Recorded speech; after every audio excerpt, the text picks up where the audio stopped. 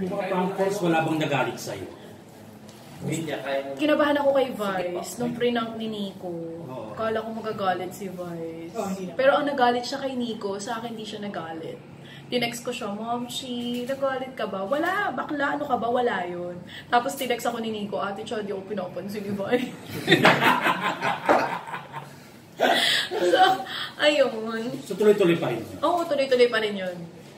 Nung, nung recently si Young JV, dapat ipaprank niya si Bea at saka si Gerald Anderson. Mm. Kaya lang, kasalukuyan silang nanonood sa sine, hindi sinagot yung tawag. So, na, hindi natuloy ang prank. Sayang. Ano ba yung prank niya na talagang grabe? May Yung kay ano- OG. Yata. OG at kay, ayun, grabe. Alam mo, grabe yun. Si prank ni Vice si OG. First time ko nakita si Vice na natakot sa buong buhay niya. Oo nga. Oo Sabi nga, ko, in all fairness Ay, kay ano Vice, grabe pa rin yung respeto niya kay Mama Coach. As in, grabe talaga, takot na takot siya. Alo, ano ba yan, Chacha? Ano ba itong ginawa ko? Oh, grabe yun. Takot na takot siya. As in, parang namutla si Vice noon. Oo, Dahil sa ginawa na. Oh. So, yun yung number one sa list mo ng pinaka... Yun talaga pinakamalala kasi dun sumikat yung prank calls dahil dun kay dun, dun na nagsimula Oo. yun. Ay, number two.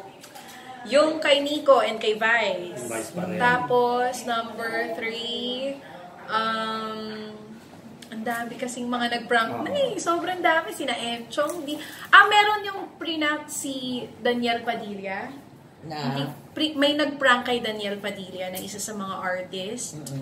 Hindi, nagulat ako doon kasi parang, ay hindi, ang isa pang hindi ko makakalimutan, yung kay Joshua at kay Julia.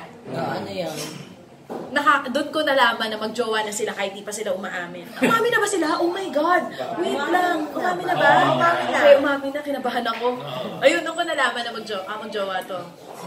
Meron silang ano eh. Meron, di ba pag magjowa yung may, may private. communication Ah, kayo may na private naiintindihan joke. niyo Ah, yun. ah. Yan. Ah, ah. Ganda.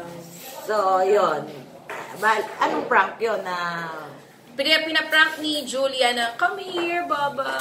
I, I want food, Baba. Yan. Ganon. Oo nga, panoorin. Ay, nako. Alam nyo, yung, yung, yung radio show ko, hindi yan nationwide, pero pag nagpupunta ako sa Visayas tsaka Mindanao, kilala nila ako dahil sa DCMM tsaka sa prank. Ay, panood ko yung prank Ano niya. ratings nun? Kasi Nung prank. Oo. Hindi yung prank calls, under siya ng radio show ko. Kaya lang, ina-upload namin siya on YouTube. So, nagiging worldwide siya. Although, yung show ko is worldwide din naman. Kasi may TFC kami. Pero yung sa radyo mismo, yung pag in-scan mo siya, nagpunta ka ng Visayas, wala kami doon. Pero online, worldwide. Ganun siya.